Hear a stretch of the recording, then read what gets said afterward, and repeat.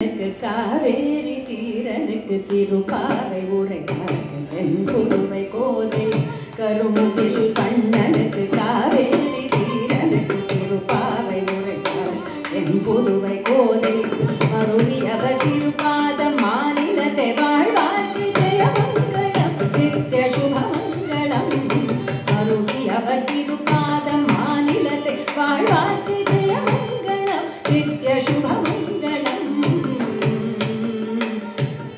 祝贺满月。